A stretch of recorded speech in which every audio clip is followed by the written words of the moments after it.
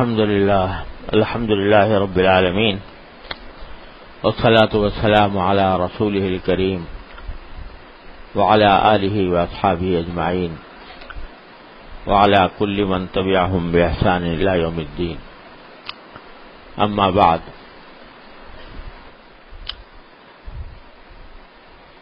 اللہ تبارک و تعالی نے جہاں روزوں کی فرضیت کا ذکر فرمایا ہے کہ یا الذین آمنو کتب علیکم الصیام کما کتب علی الذین من قبلکم۔ کہ ایمان والو، تمہارے اوپر روزے اسی طرح فرض کیے گئے ہیں جیسے کہ پچھلی امتوں پر فرض کیے گئے تھے۔ تو جہاں یہ فرضیت کا بیان ہے، تو وہاں اس روزوں کے ایک مقصد کا بھی بیان ہے کہ لعلکم تتقون۔ روزے ہم نے تم پر اس لیے فرض کیے تاکہ تمہارے اندر تقوا پیدا ہو۔ تقوا پیدا کرنے کے لیے ہم نے روزے فرض کیے۔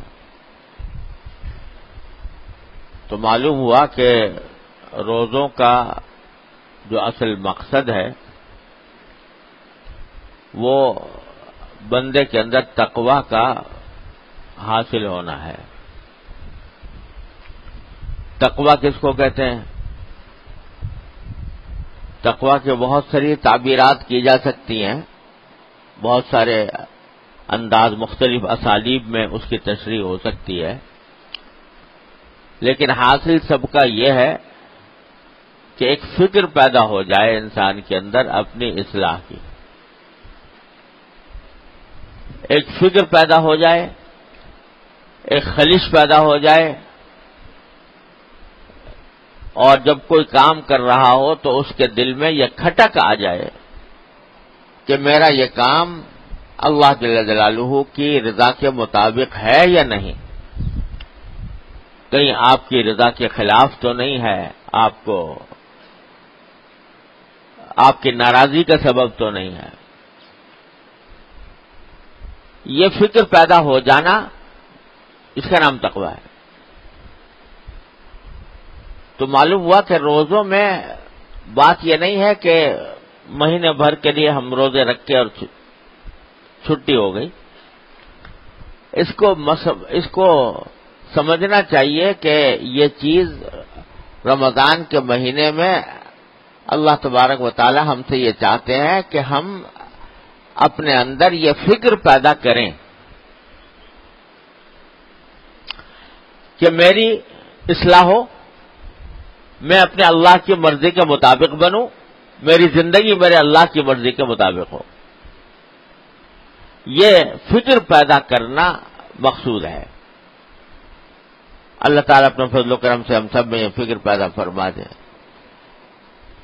جب فکر لگ جاتی ہے، ایک مرتبہ جب کسی بات کی فکر لگ گئی، دھن لگ گئی، تو پھر آدمی اس کے لیے طریقے بھی تلاش کرتا ہے۔ اس کے لیے راستے بھی ڈھونڈتا ہے اور پھر اللہ تبارک و تعالیٰ کی سنت یہ ہے کہ اللہ تبارک و تعالیٰ اس کو صحیح راستے کی ہدایت بھی فرما دیتے ہیں۔ لیکن بنیادی بات یہ ہے کہ فکر لگے۔ اب ہوتا یہ ہے عام طور پر کہ رمضان کا مہینہ آیا اور اس کے اندر الحمدللہ توفیق ہو گئی، روزہ رکھنے کی بھی تراوی پڑھنے کی بھی، اس وقت میں بڑا جوش و خروش ہے۔ جوش بھی ہے کہ بھائی رمضان آیا ہے تو ہم اپنی عبادتوں میں بھی اضافہ کریں، اپنے ذکر میں بھی اضافہ کریں، اپنی تلاوت میں بھی اضافہ کریں اور اللہ تعالی کی طرف رجوع بھی کریں۔ مگر کچھ نفس اندر سے یہ سوچتا رہتا ہے کہ یار ایک مہینے کا معاملہ ہے، کسی طرح گزار لو اس کو۔ ایک مہینہ گزرے گا تو پھر انشاءاللہ وہی جس حالت میں تھے ویسے بھی چلے جائیں گے، ویسی ویسی زندگی ہوگی، ویسے ہی سوئیں گے، ویسے ہی اٹھیں گے، ویسے ہی اپنا سارے کام کریں گے، لیکن یہ ایک مہینہ تو گزار لو۔ دماغ میں کچھ اس طرح کی بات آ جاتی ہے اور اس کے نتیجے میں یہ سمجھتے ہیں کہ بس مہینہ گزر لیا تو بس بات ختم ہو گئی۔ لیکن اصل مقصود جو اللہ تبارک و تعالیٰ فرما رہے ہیں وہ یہ کہ اس مہینے کے اندر اپنی اصلاح کی فکر پیدا کرو۔ اور فکر پیدا کر کے پھر آگے بھی اس فکر کے نتیجے میں اپنی بہتری کی طرف قدم بڑھاؤ۔ تو پہلا قدم ہے فکر پیدا کرنا۔ فکر کس بات کی؟ فکر اس بات کی کہ میری زندگی جو گزر رہی ہے وہ آیا ٹھیک گزر رہی ہے غلط ہو رہی ہے؟ میرے اندر کوئی خامی ہے غلطی ہے ہے یا نہیں ہے؟ ہم لوگ عام طور سے اپنی خامیوں سے بے فکر ہو کر زندگی گزار رہے ہیں۔ جیسی جس طرح کا ڈھب کا زندگی چل رہی ہے، اسی پر پہیا گھوم رہا ہے زندگی کا۔ اور اس میں یہ فکر نہیں ہوتی کہ بھائی کہاں غلطی ہے تو ہم اس کی کچھ اصلاح کر لیں۔ یہ فکر نہیں پیدا ہوتی۔ اگرچہ زبان سے کہتے رہیں گے، جب اپنے کسی اپنے اپنے کسی ساتھی سے اپنے اپنا کچھ ذکر کرنا ہوگا تو اپنے لیے بڑے حقارت آمیز الفاظ بھی استعمال کر لیں گے۔ ہم تو ناکارہ ہیں، ناچیز ہیں، ہم کچھ بھی نہیں ہے وغیرہ وغیرہ۔ لیکن یہ سب بناوٹی بات ہوتی ہے۔ دل میں یہ ہے کہ بس ٹھیک ہے، ہم جیسے ہیں ویسے ٹھیک ہے۔ ہمیں کسی اصلاح کی، کسی ترقی کی ضرورت نہیں۔ دماغ میں یہ بات اصل میں بیٹھی ہوئی ہے۔ اگر اپنی کبھی کمی کوتا کا ذکر بھی ہوگا تو وہ اس لیے ہوگا تاکہ دوسرا اس کے جواب میں کہے، اس کی تردید کر دے۔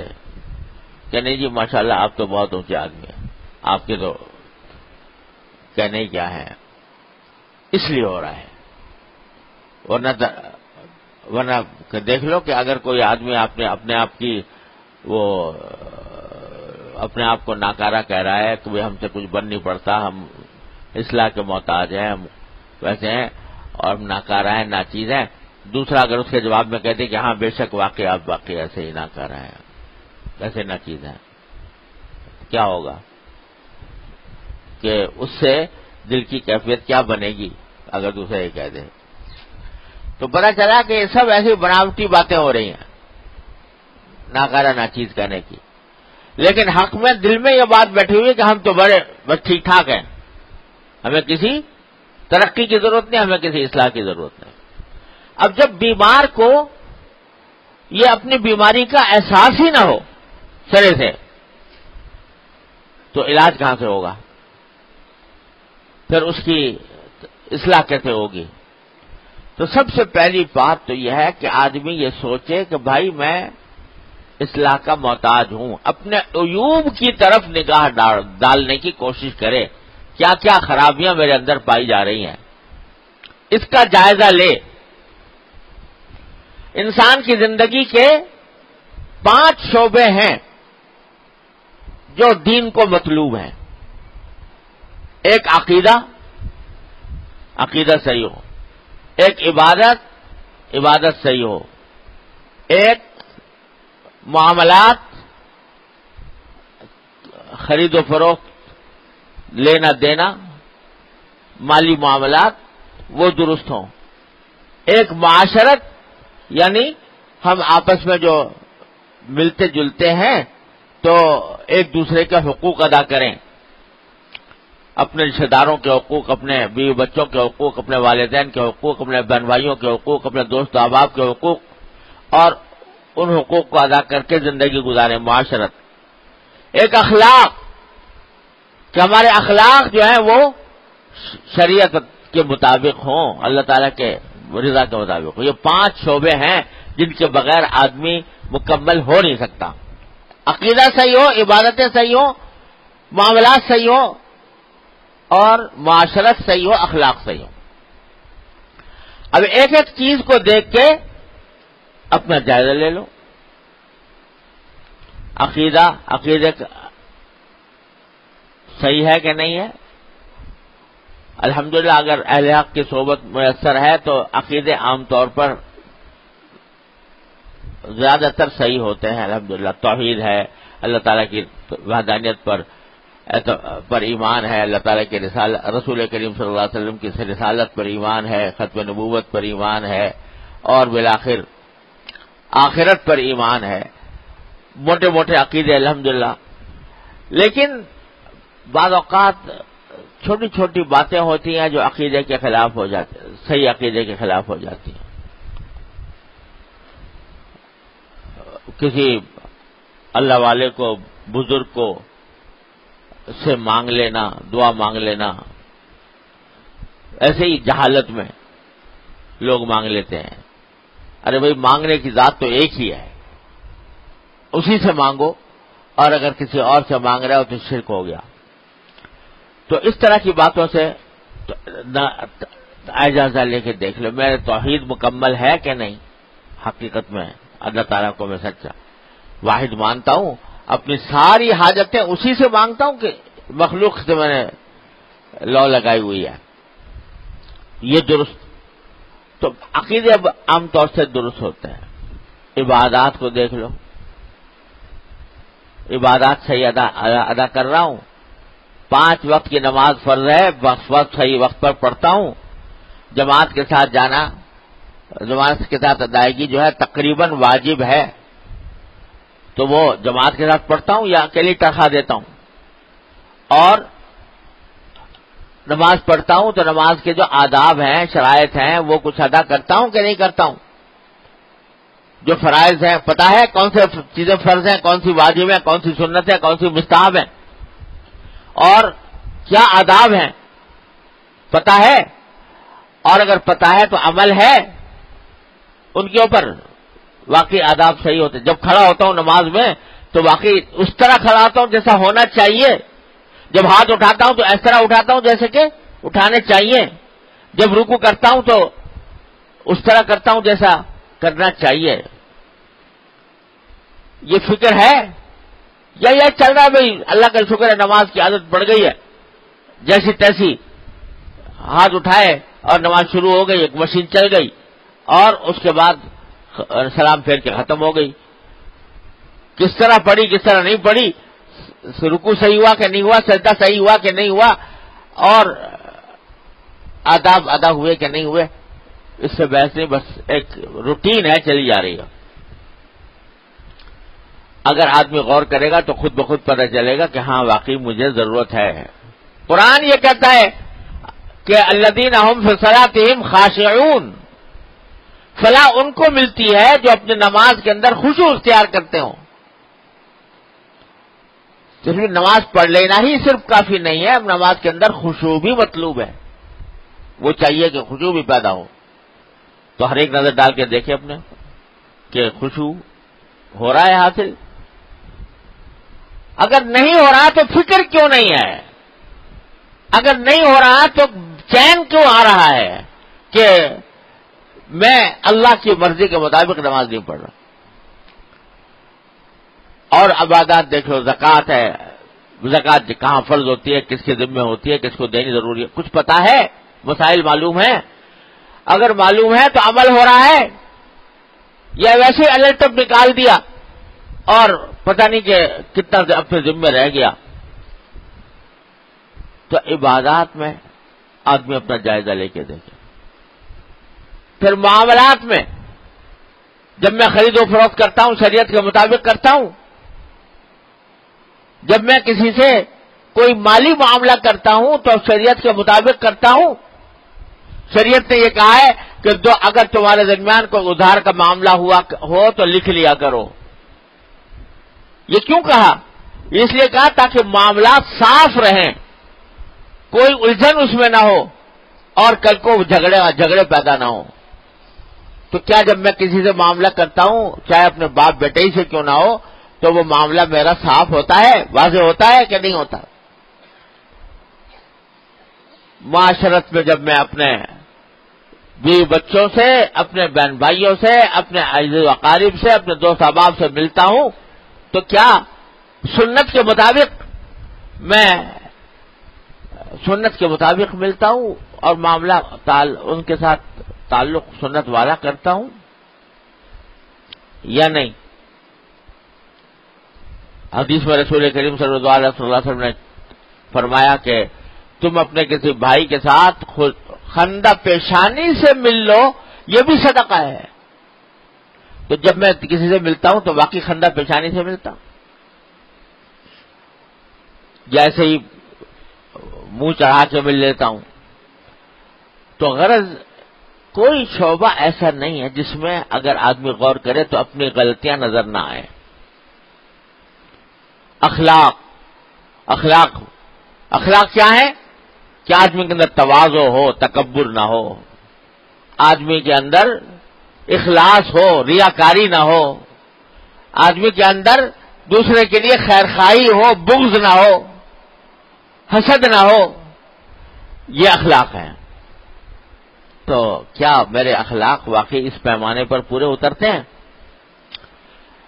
اگر نہیں ہے تو پھر فکر ہونی چاہیے کہ میری میری یہ غلطیاں جو ہیں یہ دور ہوں اور اللہ تبارک و تعالیٰ کے رضا کے مطابق میری زندگی گزرے۔ سب سے پہلا قدم فکر پیدا کرنا۔ ہے اس رمضان کے مقاصد میں ایک بڑا مقصد یہ ہے کہ آدمی کے اندر یہ فکر پیدا ہو کہ میری کسی طرح اصلاح ہو جائے، میرے عیب دور ہو جائے۔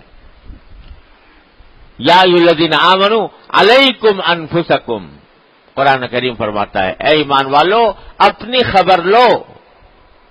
اپنی خبر لو کہ مانا اپنے حالات کو دیکھو، اس میں کیا چیز قابل اصلاح ہے، کیا نہیں ہے۔ جو قابل اصلاح ہے، اس کی فکر میں پڑو کہ اس کو کیسے کروں، اصلاح کیسے کروں۔ علیکم انفسکم۔ آج ہماری صورتحال عام طور سے یہ ہے اللہ ماشاء اللہ کہ دوسرے کا عیب تو فوراً نظر آ جائے گا۔ دوسرے کا عیب فوراً نظر اس کی تحقیق کی بھی ضرورت نہیں کہ واقعی وہ عیب ہے یا کچھ اور بات ہے، کوئی عذر ہے۔ اس کو اوپر عیب لگانے میں، اس کی مذاق اڑانے میں، اس کے اوپر طنز کسنے میں، اس کی برائی کرنے میں کسی تعمل کی ضرورت نہیں، تحقیق کی بھی ضرورت نہیں۔ ایک کان میں پڑ گئی کہ فلاں نے یہ کام کیا تھا۔ یہ اچھا اچھا موضوع ہاتھ آ گیا مجلسیں گرم کرنے کا۔ اور مجلسیں گرم ہو رہی ہیں، دوسرے کے مردار گوشت کھا کر اس کی قیمتیں کر کر کے۔ اور قیمت ہی نہیں، کیونکہ تحقیق نہیں، لہذا بہتان، الزام، تراشیاں۔ فلاں اتنا پیسے کھا گیا، فلاں نے یہ کر لیا، فلاں نے یہ کر لیا۔ دوسرے کی برائی اور دوسرے کا عیب پکڑنے میں بہت تیز ہیں ہم لوگ۔ اور ہماری زبانیں خوب چلتی ہیں اس کام کے لیے۔ دماغ بھی خوب چلتا ہے۔ تو دماغ سے خود بخود اس میں ایک طرح سی بات پتہ چلی، اس کے اوپر دس ردے لگا دیے اپنے اپنے سوچ سے، اپنی طرف سے۔ الحاظ باللہ۔ یہ پتہ نہیں کہ یہ جو اپنی طرف سے ردے لگا رہے ہو، یہ بہتان ہے، غیبت الگ ہے اور بہتان الگ ہے۔ اور قیامت میں جب پکڑ ہوگی تو سب چھٹی کا دودھ یاد آ جائے گا کہ یہ کیا ہم نے کسی کے بارے میں کیا سوچا تھا اور کیا اس کے بارے میں ہم نے کیا الفاظ استعمال کیے تھے۔ تو دوسروں کا عیب پکڑنے میں تو ہم بڑے تیز ترار ہیں اس کا ذکر کرنے میں بھی تیز ترار ہے۔ لیکن اپنے بھی تو دیکھ لو بھائی، دوسرے کا قرآن کہتا ہے، لا رکم منگلہ اضافہ دئی تم اگر کوئی دوسرا گمراہی کے راستے پر جا رہا ہے، وہ تمہارا نقصان نہیں پہنچائے گا۔ اگر تم خود راستے پر ہو تو۔ اس کا عمل تم سے تو نہیں پوچھا جائے گا۔